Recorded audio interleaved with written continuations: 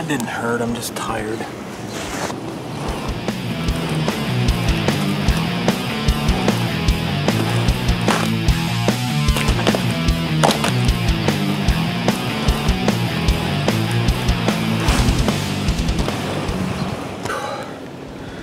I'm pretty sure we're done for the day.